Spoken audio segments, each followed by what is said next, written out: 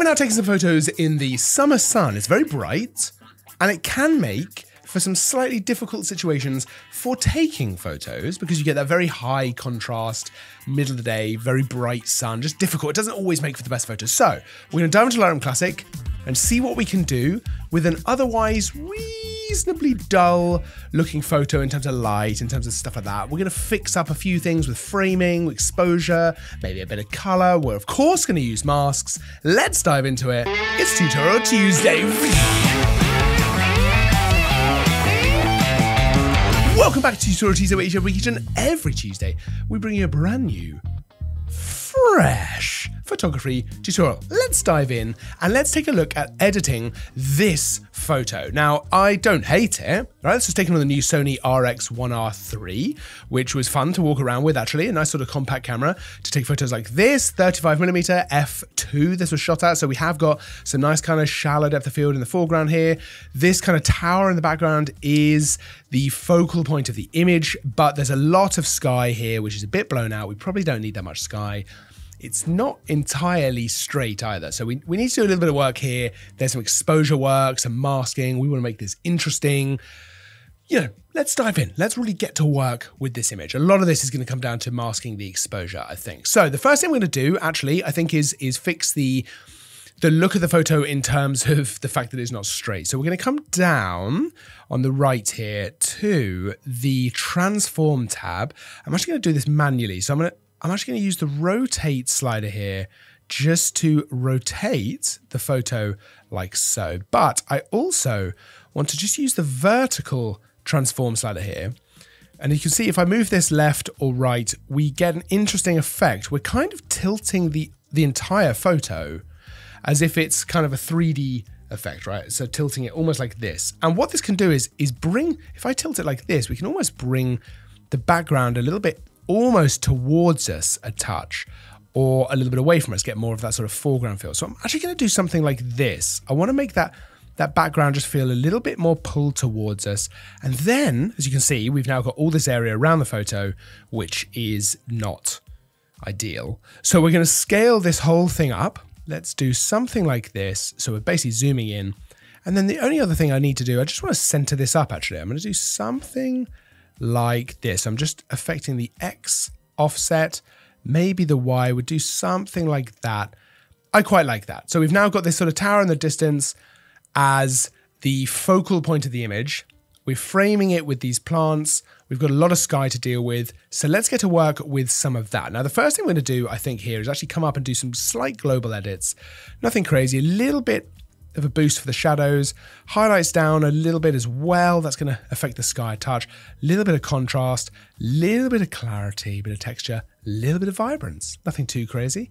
Maybe even a little bit of saturation as well. I want to bring out some of the color in this foreground, which is quite nice. Don't need to affect the white balance, I don't think. Let's go ahead and affect the sky, I think, first of all. Now, I'm not going to go ahead and just do a straight sky mask. I'm actually going to do a linear gradient. I'm going to bring that down like so and then we'll right click on that mask and intersect mask with select sky. Now we've got a linear gradient only affecting the sky. And what I'm going to do first and foremost is bring the dehaze up. That's going to help bring out some of the details in the sky. I'm going to come up. I'm actually going to bring the exposure down a little bit as well. I'm going to bring those black levels down, which hopefully will, will help bring out some of these bluer areas.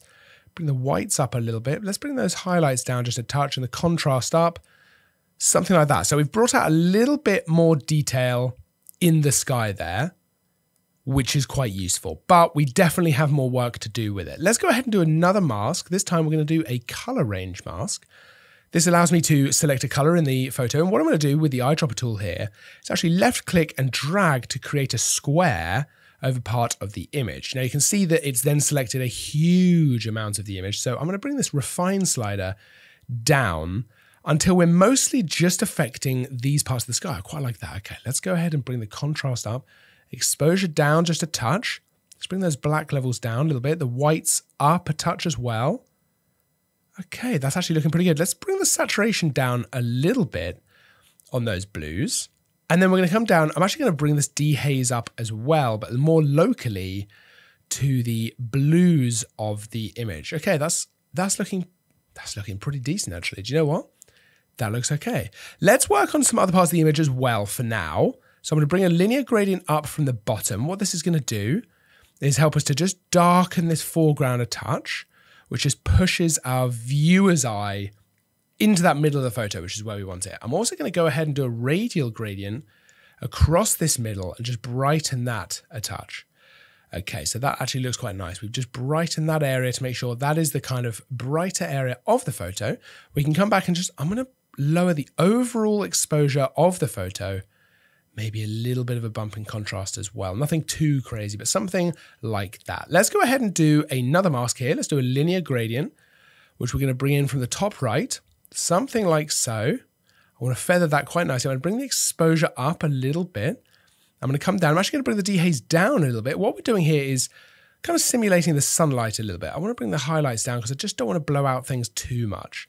But that looks quite good. I'm also going to subtract from this mask a linear gradient and bring this in for the foreground. Now, if I press O, I can see the overall, what I'm actually doing here for the mask right? Let's just hide this panel as well. So you can see it comes in feathered from the top right, but now we're just eliminating some of this foreground so that we're really just brightening this part of the image as if the, the light is sort of pouring in from, from over there, which I quite like. Okay, this is how the image looks at the moment. Let's look at a before and after. So this is where we started. You can see the framing is now quite different. The exposure is certainly quite different. We've really masked things out. But even the color's are a little bit different. Look at that. That's much, much nicer. I think we can actually come down here to the hue, saturation, and luminance sliders. I'm just going to bring the orange down a little bit. I don't think it's going to affect too much, but we'll do something like that. The yellows as well. Now the greens I want to push over towards a nice, rich, lush green. So I want to bring out the green in this kind of foreground area. And the blues, I'm going to come actually over to the saturation. I'm just going to bring the, the, the actual saturation of blue down a little bit. The green up just a touch. Let's go over to luminance and bring the luminance of the blue down as well. Now, what we're getting there is a little bit of a, a almost like a, a circular polarizing filter effect to the sky, which I really quite like. Actually, I think that that, that lends quite a quite a nice look to this image. And I think actually, in terms of what this looks like now compared to where we started, we've made quite a serious difference. Let's look at the before and after. So this is before, and this is after. Now, look, is this image winning awards? Probably not. But it's an but it's an interesting exercise to edit a photo like this. I, I really only had the opportunity to shoot in the midday sun. And actually, you know, I used to avoid it in the summer, but that feels like a waste of an opportunity. This is probably not the ideal place to shoot. I like to shoot in, you know, the forest is a great place. The city is a great place because you can actually find shaded areas. You can play with that contrast. That can be fantastic.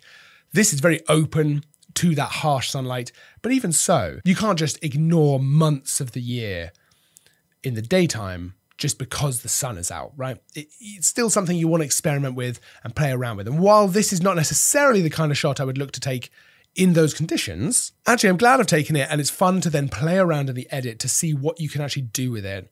And I always feel like with these edits, I learn so much about the types of photos that I want to take and how I can make things better in the future in camera in the moment. For example, in this one, I might actually have just level things. I might taken the time to level things more while I was there with the camera so that I had a straight horizon. And I might actually have tilted the camera in a slightly different way. I might have held it in a different position and actually tilted it to try and tease that background towards me a little bit more. Obviously, I can do stuff in the edit, which is great, but I'd prefer to be able to do that in person, in camera at the time. It's always better. The, the better you can get it in camera, the better situation you're creating for yourself when you come to the edit. Now, I'd love to know what you think. Do you shoot in the midday sun? Do you still go out this time of year in the middle of the day when that sun is beating down? And if so, what kind of photography are you shooting? Because I think that's really interesting, actually. And I'm always keen to know what people do this time of year because it, it just, you know what? It's very bright.